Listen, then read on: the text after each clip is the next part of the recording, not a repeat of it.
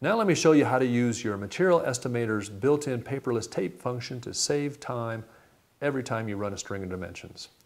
A lot of guys will re-enter a string of dimensions two or three times just to be sure they get the same answer, which is smart, but it's a little bit of an unnecessary doubling of your work. You can actually check your answers without doubling your work simply by using this tape function over the equal key.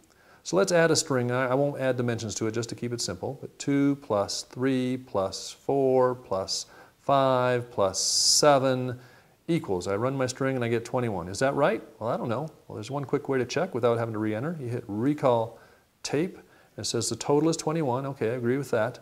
Um, over the plus and the minus keys are little up arrows and down arrows. So I can use these keys to go up and down the list of entries we just put in, the last 20 entries actually. But let's start pressing here. So it says the very first thing I did was I entered a 2.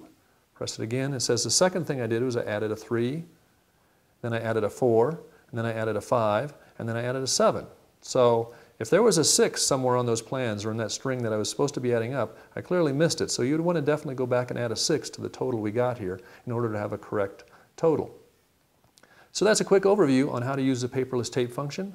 For more details, you can download our user guide at www.calculated.com support.